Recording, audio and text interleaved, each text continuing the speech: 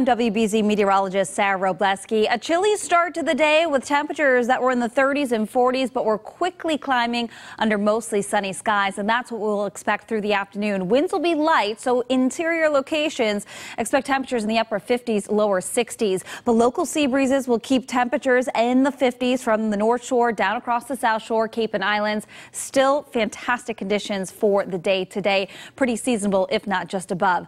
Increasing clouds tonight. We fell back into the 30s. 30s, 40s cooler tomorrow as we'll notice those temperatures in the 50s, a lot more clouds around, and we'll be watching for some spotty showers. Now, I think the best bet of seeing some rain will be from west to east Thursday morning, then some breaks in the action before a warm front lifts northward, and along that front, we could see some scattered showers later on Thursday. The warm air, humid air moves in for Friday, not a washout, but can't rule out a shower at any point.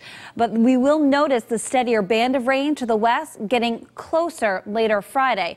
Downpours expected overnight Friday into Saturday. So your weekend plans, they look unsettled. One thing you'll notice though, the temperatures rebound, climbing into the upper 60s for Friday and Saturday.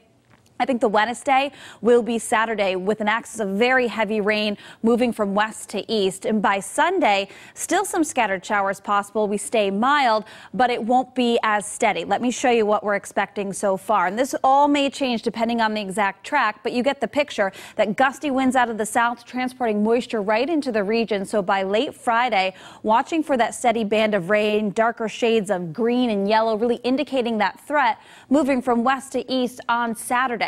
Now, that heavier band may push just offshore for Sunday, so we could get some breaks, but lingering low pressure to our northwest will just keep that risk of a pop up shower possible. And we are talking about anywhere from one to possibly two and a half inches of rain, depending where that heavier axis of rain sets up. So it, it doesn't look to be all that pleasant for the start of the weekend, but we do start to see some improvements. After we see the 60s, we're still going to stay above average heading into early next week. And a few more breaks of sunshine.